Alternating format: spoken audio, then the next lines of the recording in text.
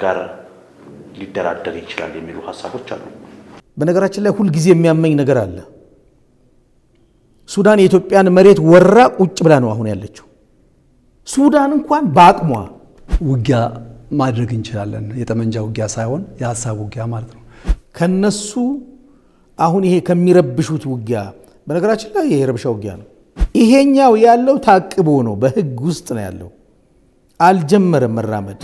በደምና በአጥንት የተገነባች ሀገር መሆኗን ማሳየት ነው ውሃ ልኳን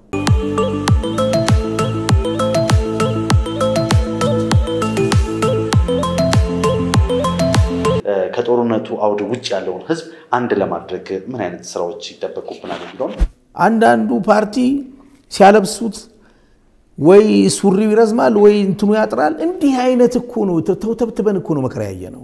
ስለ እሷ እኮ ተሰይፈው ነው የምናነሳቸው። ንግግር አበዛን የእርሻ ወቅት ነው ረሱ ተባለ አይደል? ማረስ ከለከል ነው። አሁን መስከረም፣ ጥቅምት፣ ታህሳስ ምናምን ላይ የአዝመራ ወቅት ነው። ምን ይበላል ህዝቡ? የምናመቻምችበት ሰዓት አይደለም። ቁርጥ ያለ ዘመን ላይ ነው ያለ ነው። ወይ መኖር ወይ አለመኖር። ይሄ ድግስ ነው የተደገሰለት ለኢትዮጵያውያን። የህወሓት ከፍተኛ አመራሮች አሁን በህይወት ያሉት እነ ጌታቸው ረዳ፣ ደብረጽዮን ወይ ሰላም እስኪመጣ ድረስ ያሉ ሰዎች እንዲህ ቢሰዉ ቢያዙ ይሄን አደርጋለሁ ብለው አስባችሁ ታውቃላችሁ? ሰላም ጤና ይስጥልን። የተከበራችሁ ተመልካቾቻችን እንደምን ሰነበታችሁ? በየኛ ቲቪ ወደ እናንተ የሚደርሰው የእኛ መድረክ ፕሮግራማችን ተጀመረ። በክፍል አንድ ከሀምሳ አለቃ ብርሃኑ አማረ የቀድሞ የመከላከያ ሰራዊት የድጋፍና የልማት ማህበር ፕሬዝዳንት እንዲሁም ከመቶ አለቃ ታሪኩ በቀለ የማህበሩ የውጭ ጉዳይ ኃላፊ ጋር በክፍል አንድ የተለያዩ ሀሳቦችን አንስተን ውይይት ስናደርግ ነበረ። እናንተም ሀሳብ አስተያየቶቻችሁን ስሰጡን ነበረ። ክፍል ሁለት እነሆ ተጀመረ። ከፕሮግራሙ ጋር ከመላው የስቱዲዮ ባልደረቦች ጋር በመተባበር ቴድሮስ ይፋ ወደ እናንተ አደርሳለሁ። አብራችን ቆዩ። መልካም። እስቲ እንግዲህ ውይይታችን እንደቀጠለ ነው። የክተት ጥሪውን ተከትሎ የቀድሞ መከላከያ ሰራዊት ጥሪውን ተቀብሎ እንደተለመደው ወደ ጦር ግንባር እየሄደ ነው የሚገኘው። ብዙ መስዋዕትነቶችንም ለሀገር እየከፈለ ነው ያለው እና አሁን ላይ በተለይ በእነዚህ ሁለት ሶስት ቀናቶች ከወልዲያ የሚወጡ መረጃዎችም አሉ። ሌሎች ግንባሮች ላይም ያንን እኛ የምንተነትንበት ምንም አይነት አቅም የለም። ጋዜጠኛ የጋዜጠኛውን ስራ ነው የሚሰጠው። ያንን ለጦር ሰራዊቱ እና ለአመራሩ ነው የምንተው ስራውን። ነገር ግን እናንተ ሰራዊታችሁ ምን ያህል ውጤታማ ነው?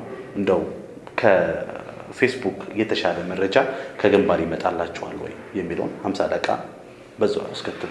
አዎ እንግዲህ ይሄ ወታደራዊ ምልከታ ነው። አንዳንድ ጊዜ ወታደራዊ ምልከታ ፐብሊክ የምታደርጋቸው ጭውውቶች ይኖራሉ። እንደ ወታደር ደግሞ ወታደራዊ መስመር ላይ የምትመለከታቸውና የምታስቀምጣቸው የምታሳርፋቸው ሀሳቦች አሉ።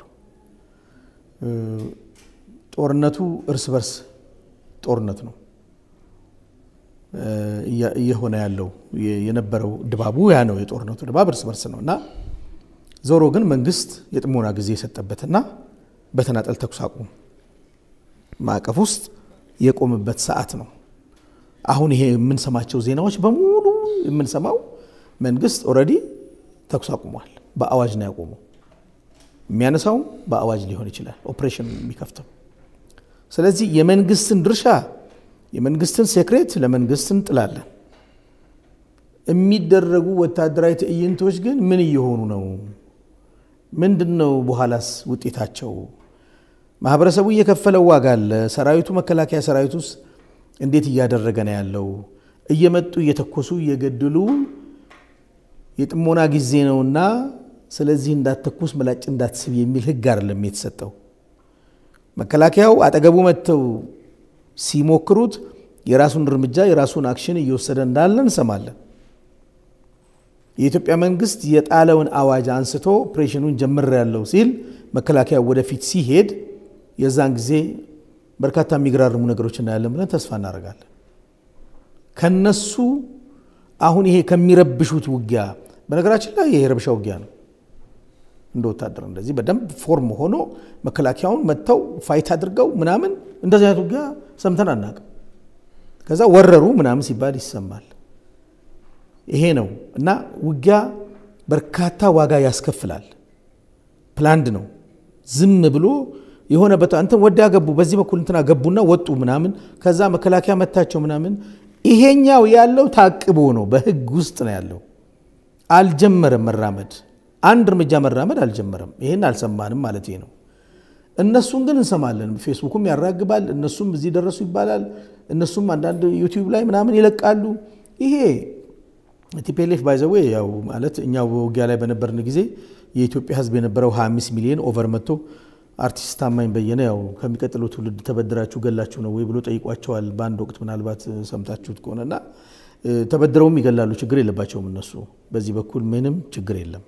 ማህበረሰቡ ደግሞ ይሄኛውን angle አያውቀውም። አዲስም ነው ለማህበረሰቡ። ይሄ ዩቲዩቡ ማህበራዊ ሚዲያው ምናምን የፈጠረው stress ከዚህ አንጻር ነው። by the way TPLF አብዛኛውን ጊዜ agitation ላይ ጊዜያቸውን መስዋዕት ያደርጋሉ። ለዚህ ነው አሁን ወደ ውጭ የሚኖሩትም ሰዎች በዚህ በዲፕሎማሲው line ውስጥ ኢትዮጵያ እጇን አጣጥፋ ቁጭ ብላ TPLF ኦች እየገደሉ ኢትዮጵያ እንደምትገድል፣ ኢትዮጵያ እንደምትጨቁን፣ ኢትዮጵያ እንደምታጠፋ ብቻ ሲጋጋል የነበረው እንዲህ አይነት ነገራቸው ያው በርካታ እንቅስቃሴ ላይ ስለሚጠመዱ ነው። ዞሮ ዞሮ ግን ምንድነው ጦርነቱ ምን ይመስላል? ጦርነቱ እንዴት ነው መቋጨት ያለበት? መንግስት ምን action መውሰድ አለበት? ከዚህ በኋላ አይበቃንም ወይ? እያደረጉ ያሉት ነገር ጥፋት አይደለም ወይ? ይሄ እንደ ወታደራዊ ስትራቴጂ ማብቂያው ምንድን ነው? በመካከልስ ምንድን ነው? ከውጊያ በፊት ውጊያ መሀል ላይ ከውጊያ በኋላ ምን ምን መደረግ አለባቸው የሚለውን ነገር እዛ ላይ comment ሰጥ ችልፍ እኔ እንዳልኩህ ይሄ መደበኛ form የሆነ ውጊያ መከላከያውን ገጥሞ ሰብሮ አሸንፎ ይሄ ሌላ part ነው። አሁን ግን የሆነ 20 30 ወይም 100 150 ሆኖ የሆነ ከተማ ወሮ ያንን control ማድረግ መከላከያ በሌለበት በቂ defense በሌለበት በቂ ጦር ኃይል በሌለበት normally እየኖረ ያለን ማህበረሰብ ለምሳሌ እንደ ላሊበላ አሁን ደግሞ ቆቦ እንደምንመለከተው ቆቦም ላይ እንደምንሰማው መከላከያ በዙሪያው በአካባቢው እንዳለ እንሰማለን። ነገር ግን በከባድ መሳሪያ ወርውረው የገደሏቸውም ሰዎች እንዳሉ ዜና እንሰማለን። ይሄ ምንድነው? እንዲህ አይነት መስመር ያለው ውጊያ ሳይሆን በመረበሽ ወይም disturbance በመፍጠር ማህበረሰብን ማስጨነቅ ከፌስቡኩ ባሻገር ማለት ነው። እንዲህ አይነት የሚረብሽህ ነገር character ያለው የውጊያ ሂደት እያደረጉ እንደሆነ ይሰማናል። የምናየውም ይሄንን ነው። እኛ መደበኛ ወታደሮች ነን። ገጥመህ fight አድርገህ አስር ሰዓት ይፍጅ ሶስት ቀን ይፍጅ ከዛ በኋላ ነው የሚለየው። ይህን ውጊያ አይተን አናውቅም። እንግዲህ አለመታደል ሆኖ ይሁን አይታወቅም። እንዲህ ገጥመው ይህን ያደረጉ እንዲህ ያደረጉ እንዲህ የሚሞከር እኮ ቢሆን ኖሮ ወልቃይት ይሞከር ነበር፣ አፋር ይሞከር ነበር።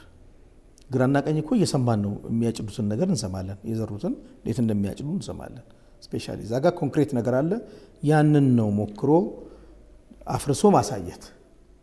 ከዛ በኋላ ዜናውንም ተጨባጩንም በወታደራዊ ትንታኔ እንዲህ ስለሆነ ተሸነፈ ወይም በውጊያ ጥበባቸው ወር በመሳሪያ ኃይላቸው በሰው ኃይላቸው dominate አድርገው ያን ቦታ ተቆጣጠሩ ብለህ ትናገራለህ። አሁን ያለው መካከል ላይ እየሄደ እየተሮጠ ይሄ ተያዘ ምናምን ይሄ እንደውም በእውነት ለመናገር ማህበረሰቡን የሚያስጨንቅ ህዝብን የሚጎዳ ህፃናትን በርካታ ዋጋ የሚያስከፍል እጅግ በጣም አሰቃቂ አስከፊ ስራ እንደሚሰሩ ይታወቃል። በሚሊተሪ እይታ ግን ይሄ በጦርነት ውስጥ ጨዋታ፣ ምክንያቱም የሚፈለግ ሌላ ቦታ ነው። ያ ቦታ አይደለም የሚፈልጉት። ያን ቦታ እንደማይፈልጉት በግልጽ ይታወቃል። ግራና ቀኝ የሚፈለግ ቦታ አለ። ያ ደግሞ ሊሆን አይችልም። ምክንያቱም መንግስት ስለሆነ በተሻለ አደረጃጀት፣ በተሻለ ወታደራዊ እይታ፣ በተሻለ ስትራቴጂ ቁመና ያለው ሰራዊት ያለው መንግስት ስለሆነ ማለት ነው።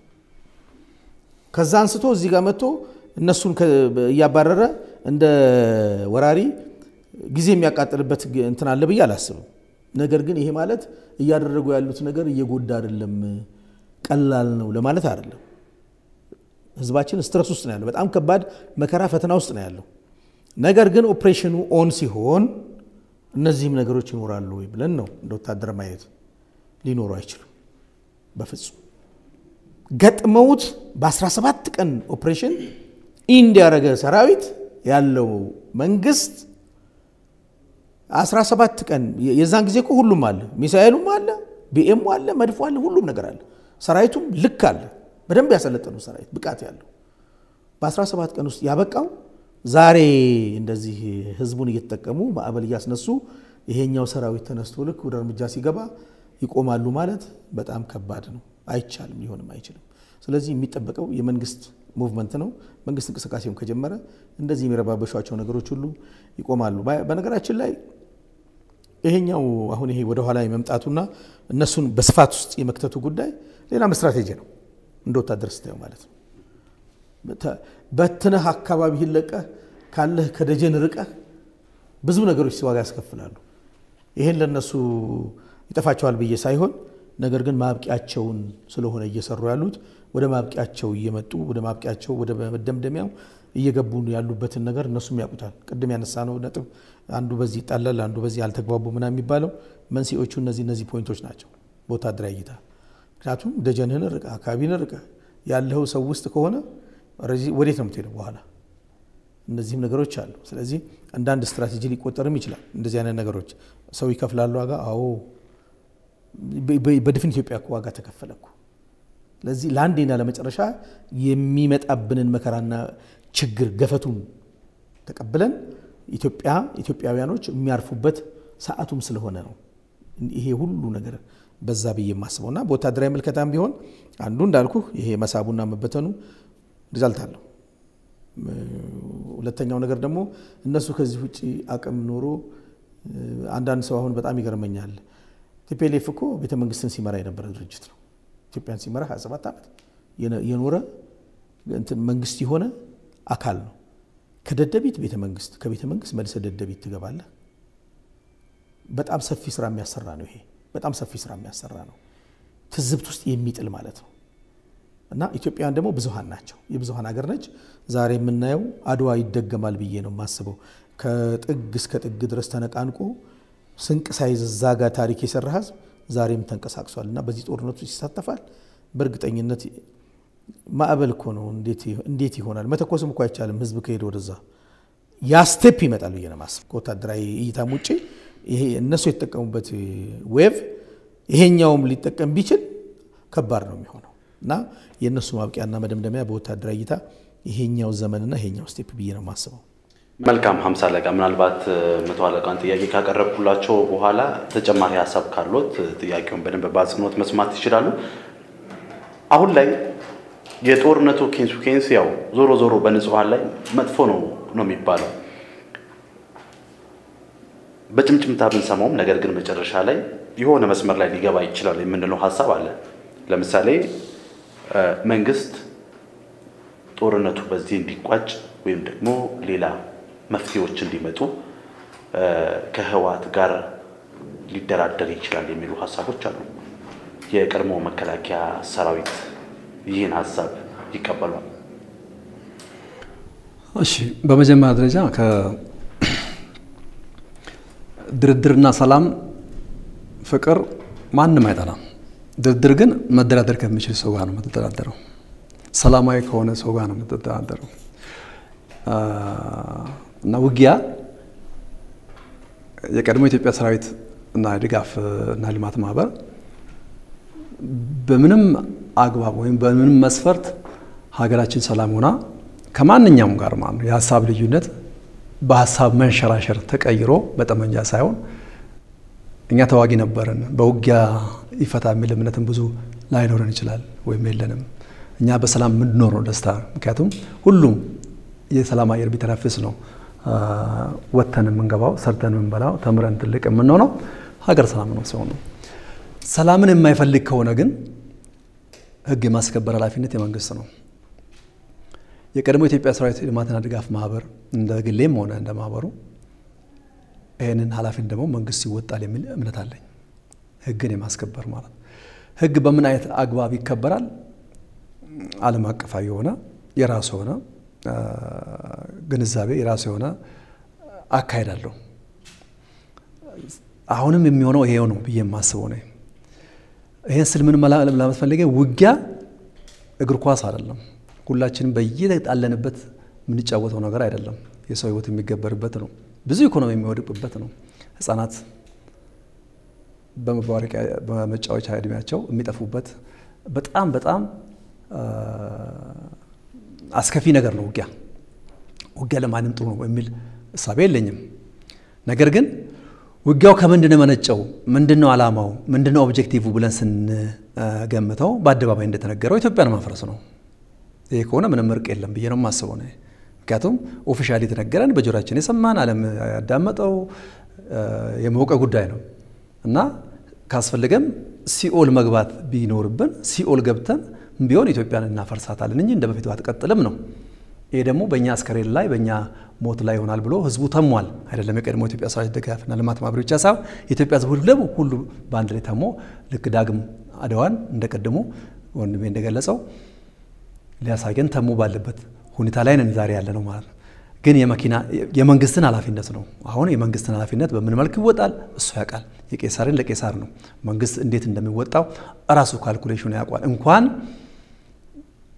ባለፈው ከስምንት ወር በፊት በነበረው ቁመናው ላይ TPLF በዛን ጊዜ እንኳን በ17 ቀን ጊዜ ውስጥ ነበረ እንደዚያ ድምዳሜ ላይ የተደረሰውና ያለቀው already ሰላም የሆነው። አሁን ትግላችን ወይም የመንግስትም ትግል ብዬ የማስበውም የትግራይ ህዝብ ራሱ እጅግ በሰቆቃ ውስጥ የሚኖር እጅግ ብዙ ፈተና even ምንም ተጠቃሚ ያልሆነ ህዝብ ያለበት area ወይም region በመሆኑ even የዓለም መንግስታት ራሱ ተባብረው ይህን ህዝብ ራሱ ነፃ ማውጣት አለባቸው ብዬ ነው የማስበው።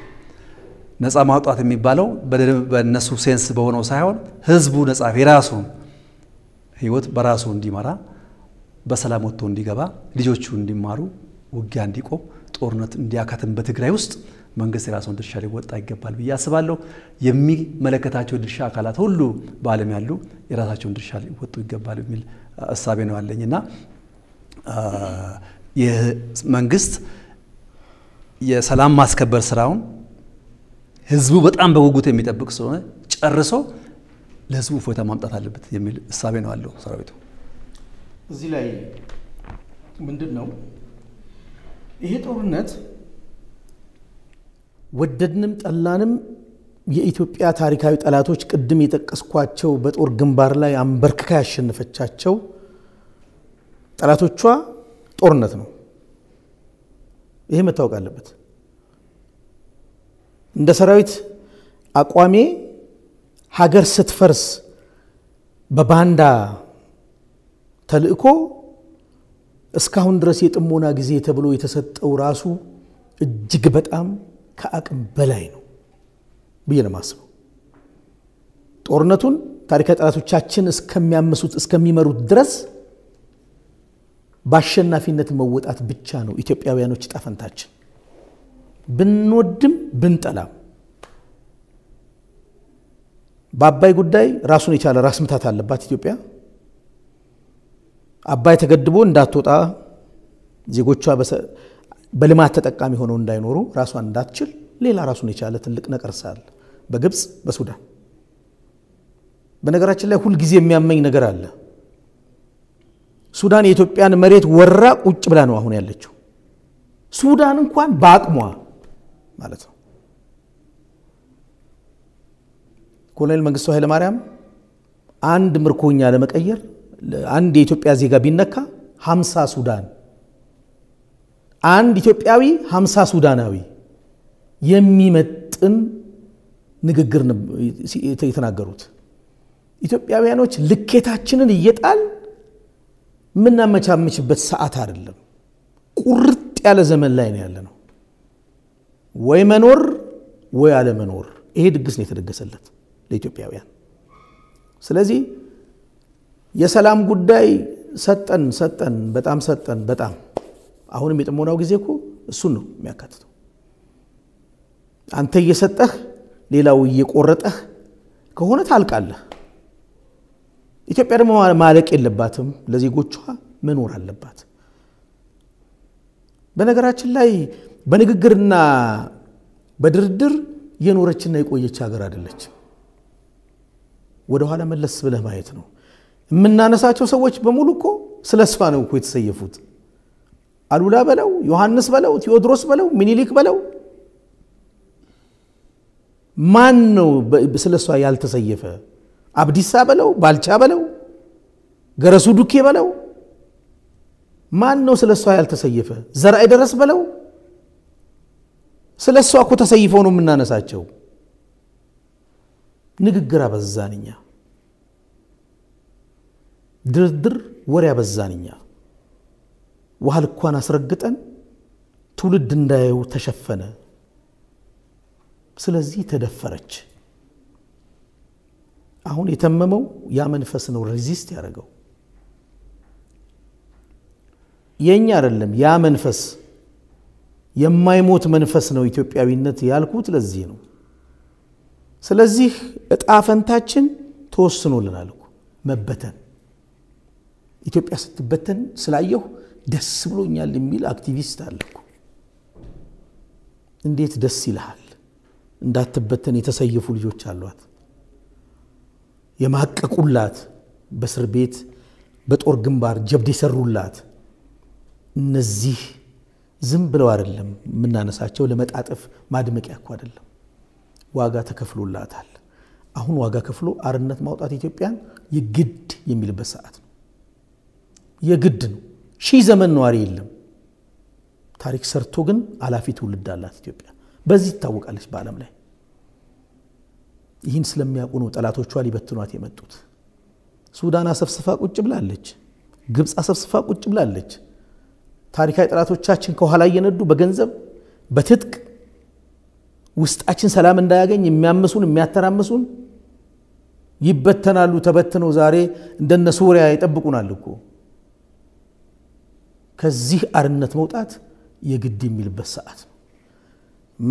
አመቻምቸን ምናምን ብለን አሽሞንሙንን ሳይሆን በደምና በአጥንት የተገነባች ሀገር መሆኗን ማሳየት ነው። ውሃ ልኳን እንዳልኩት agreement አድርጎ ለሺህ ዘመን የተወለደ የለም እዚህ ምድር ላይ።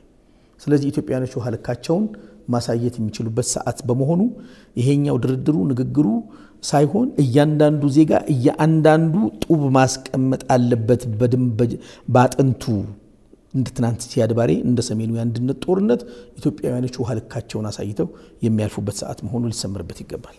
አምሳ አለቃ መነሻችን ላይ አንድ ስለ ጦርነቱ አነሳንና የጦርነት case ብቻ ሳይሆን political issue ም አለባቸው የሚል ሀሳብ አነሱ እና ይህን ጥያቄ ለምን አላስታክከውም ብዬ አሰብኩኝ። በአሁኑ ሰዓት ላይ እነ ጌታቸው ረዳና ደብረ ጽዮን ጸባችን ከገዢው አካል ወይም ደግሞ ከመንግስት ነው እንጂ ከንጹሐን አይደለም ሲሉ ይደመጣሉ። በትዊተር ላይ የሚያናፍሷቸው መረጃዎች ነው። በሌላ መልኩ ደግሞ ከባባድ መሳሪያዎችን ሳይቀር የተጠቀመ ንጹሐን እየገደለ ነው። የአፋሩን ወይም ደግሞ የወልዲያውን ደግሞ እንደ ምሳሌነት መጥቀስ እንችላለን። ህወሓት ደርግን ሲዋጋ በነበረበት በዛ ዘመን ሲጠቀምበት የነበረው ቃል ደግሞ ነው፣ ተመሳሳይ ነበረ።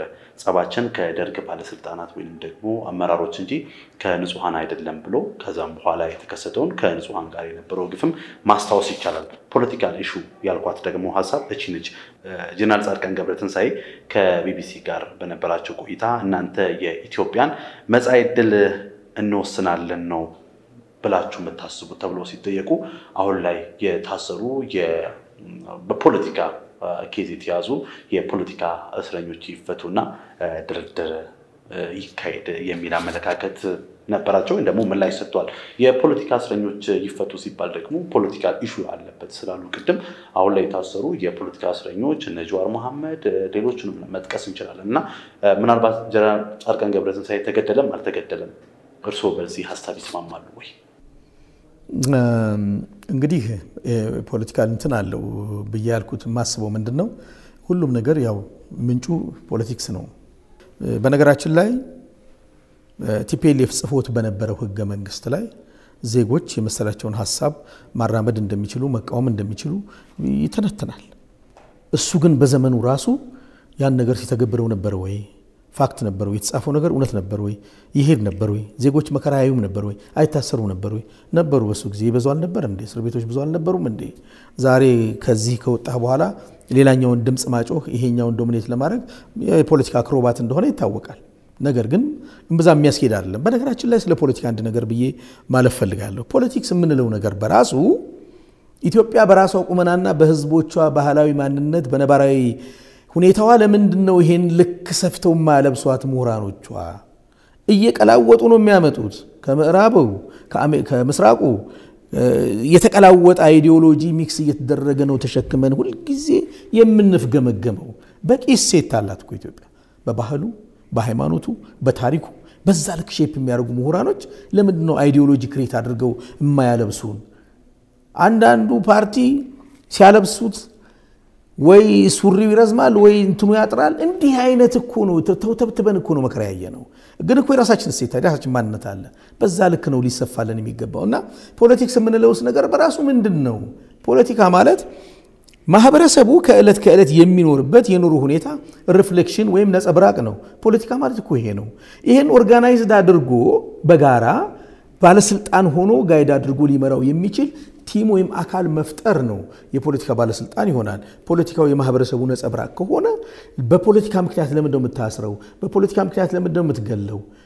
ከፖለቲካ አስተሳሰብ ውጭ ወጥተው ለስልጣን ለጥቅም የሚሄዱበትን መንገድ ማስቆም ወይም ጋይድ ማድረግ ያስፈልጋል። ህግም ስላለ መንግስትም ስላለ ባለስልጣን ስላለ ይሄ እንዳለ ሆኖ ግን ፖለቲክስን በማህበረሰባችን ልክ አሰፍተው የሚያለብሱን ሰዎች ጠፍተው ነው ዛሬ ሽማግሌዎቹ እንደገና በ1966 ምናምን በጣም ህፃን ሆኜ የምሰማቸው የ ideology ትንፋሾች አሉና እነሱን የምሰማው ዛሬም እሰማቸዋለሁ። እነሱን ግን ይሄኛው generation እጣ ፈንታ አለው እኮ ራሱ የሚናገረው የራሱን ነገር የሚያወጣበት የራሱን ፖለቲካ drive የሚያደርግበት ይህንን እድል መች ሰጠነው እና የእኛን እየጫን እያጠላለፍን ዛሬም አሁን የምንሰማው የፖለቲካ እንትኖችን እናስፈታለን። እነሱ ያሰሯቸውን ሰዎች እኮ በለውጥ እኮ ነው መንግስት የፈታቸው። እስር ቤቶች ሙሉ full ነበሩ። ታስረን እኮ እናውቃለን። ብዙ ዋጋ ከፍለን እናውቃለን። በርካታ የምርመራ አይነቶችን ወስደን እናውቃለን። በገዛ ሀገር ሰው ከአርባ ዓመት በኋላ እድሜ ታስረ የምትገረፍበት ሀገር ኢትዮጵያ ውስጥ በአመለካከት ይህን አስተናግደን እኮ አልፈን እናውቃለን። ዛሬ ላይ እዛ ተሄዶ ይሄኛውን ድምፅ ማሰማት ብዛም ሚዛን የሚደፋ ነገር አለም። just ምንድን ነው ግን politics ኡ ራሱ የተቃኘ አይደለም። ሌላው ፖለቲከኛ ካልሆንክ አፍሪካ ውስጥ ባለስልጣን ካልሆንክ በፖለቲካ ምክንያት የምትፈልገውን ነገር አገኛለሁ ማለት አይቻልም። ኢትዮጵያ የዚህ አካል አንዱ ሰለባ ናት። position ከሌለህ ቤት ላይኖርህ፣ መኪና ላይኖርህ፣ ብር ላይኖርህ ነው። ስለዚህ ፖለቲከኛ ሆነ አክሮባት ሰርተህ በሰው ህይወት ዳማ ተጫውተህ ከዛ የምትፈልገውን ነገር success የማድረግ ነገር ይሄ በሽታ ነው። አፍሪካን ያመሳትና ያስቸገራል። ስለዚህ politics የራሱ ጨዋታ አለው፣ art ነው፣ የማህበረሰብ ነጽ እንትን ኑሮ ነው፣ አኗኗር ነው ብለናል እና በቂ የሆኑ dramatic የሚችሉ ፖለቲከኞች መምጣት አለባቸው። በደንብ አድርገው ሰውን handle ማድረግ የሚችሉ አእምሮን control አድርገው እንትን የሚለው እና ፈረስ እንደሚጋልብ ሜዳ ላይ ፖለቲከኞች የሰው አእምሮ ላይ ጋልበው የሚያመጡት ውጤት ይሄ ነው። በነገራችን ላይ ምሁራኖቻችን ያተረፉልን የፖለቲካ result ነው። ይሄ ሁሉ አፈሙዙ ብትለው፣ የብሔር ተቋጥሮ ብትለው፣ የኢኮኖሚ ከፍታ ዝቅታ ብትለው እነሱ አመጥተው የሰጡን ነው። ሀገሬ ደግሞ የኖረችው ታሪኳ በወታደርና በገበሬ ነው። ኢትዮጵያን ያኖራት 85 percent ኡ ገበሬ ዳር ድንበሯን አስከብሮ ወታደር። እስኪ ፖለቲከኞች አያስፈልግም አለን። politics ያስፈልጋል የሚቃኝ ከሆነ ህዝባዊ ዜማ የሚያዜም ከሆነ ለወንበር ብቻ ምናምን ሮጠህ ማትሄድበት ከሆነ ይቻላል። ነገር ግን ያቆያት ወታደር ድንበሯን አጥንቱን ከስክሶ ገበሬው አርሶ ይቻ ይሄ ነው fact፣ ታሪኳ ይሄ ነው። እዚህ መሰረት ላይ ሆኖ ያሻው መሆን ይቻላል። ገበሬውንም እኮ ማረስ ክልክል ነው። የእርሻ ወቅት ነው። እረሱ ተባለ አይደል? ማረስ ክልክል ነው። አሁን መስከረም፣ ጥቅምት፣ ታህሳስ ምናምን ላይ የአዝመራ ወቅት ነው። ምን ይበላል ህዝቡ? ይሄ እኮ ፖለቲከኞች እኮ ያመጡት ጦስ ነው። እና ስለዚህ በፖለቲካ ጉዳይ ኢትዮጵያ ውስጥ እምብዛም ጅራፍ ማጮሁ አዋጭነት የለውም። መጀመሪያ ነባራዊ ማንነታችን ላይ መቆም ያስፈልጋል ብዬ ነው የማስበው። መቶ አለቃ ጥያቄዎቻችን እንግዲህ እያገባደድ ነው የምንገኘው። እስቲ የመዝጊያ አንድ ሁለት ጥያቄዎች እንወያይባቸው እና ፕሮግራማችንን በዚህ እንቋጫለን። እንደው እስቲ ጦርነቱን እንተወውና ከጦርነቱ ውጭ ያለ ደግሞ ሌላ ጦርነት አለ። ያ ጦርነት ምንድን ነው? እሱ ህዝብ አመለካከት ላይ የመስራት ነገር አለ። በሳይኮሎጂ ደረጃም አሁን ለምሳሌ የትግራይ አርቲስቶችን መመልከት እንችላለን። ከሱዳን አካባቢ ላይ ኮንሰርቶችን እያዘጋጁ መዋጮ እያሉ ብዙ ነገሮች አሉ። ምናልባት መረጃውን ሰምታችኋል ብዬ ገምታለሁ። ከወደ አሜሪካን ደግሞ እኛ አባቶቻችን ቢያስረክቡን ትግራዋይ እንጂ ኢትዮጵያን አይደለንም የሚሉ አሉ። ሌሎች ደግሞ እዚህ ስቱዲዮ የምንጋብዛቸውም ትግራዋይ ትግራዋይ ሆነው ለኢትዮጵያ መስዋዕትነት የከፈሉ ትግራዋዮች አሉ። ዛሬም ነገም መስዋዕትነት እየከፈለን እንቀጥላለን።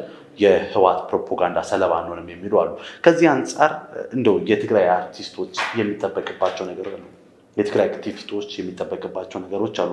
የትግራይ ፖለቲከኞች የሚጠበቅባቸው ነገር አለ እና እንደው ህዝብን ከጦርነቱ አውድ ውጭ ያለውን ህዝብ አንድ ለማድረግ ምን አይነት ስራዎች ይጠበቁብናል የሚለውን አጠር አድርገን እንመልከት። አዎ ውጊያ ሲባል የጦር ሜዳ ፊልማ ብቻም አይደለም።